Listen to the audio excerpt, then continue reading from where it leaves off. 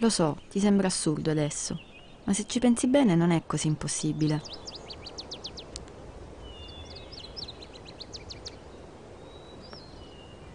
È successo quasi per caso, in una di quelle giornate stupide che non hanno niente da dire.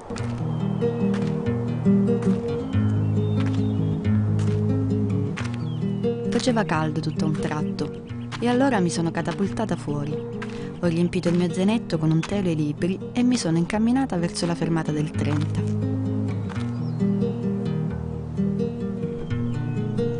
Aria liquida come quella estiva, cagnolini che sorridono lingua al vento.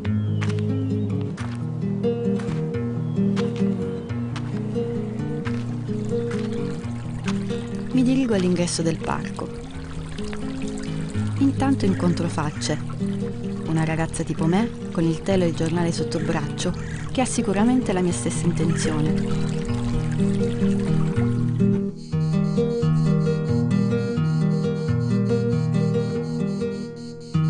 Spalmarsi sull'erba senza scarpe, le dita dei piedi aperte a ventaglio, le formiche che ti solleticano il braccio quando stai per addormentarti al sole. possibile che non mi vede nessuno? E allora tanto vale andarmene, tanto vale prendere il volo. Non se ne accorgeranno mentre io li vedrò tutti dall'alto.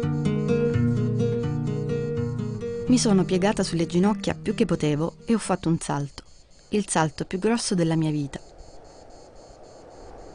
Mi sono sentita subito bene, con i piedi a 5 metri da terra. Allora prendo un respiro lunghissimo e vado più in alto, fino alle cime degli alberi e anche oltre. Come sono piccoli tutti a questa altezza. Puntini indefiniti che si muovono veloci e non sanno dove andare.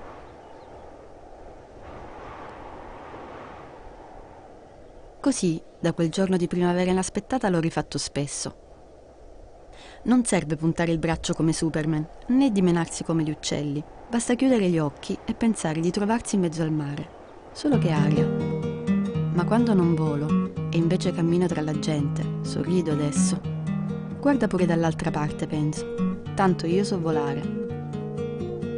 Lo so, ti sembra assurdo, mamma, ma se ci pensi non è così impossibile. Non sgranare gli occhi, dai, ora torno a terra. Ti mostro come si fa, solo perché non pensi che è un'altra delle mie follie.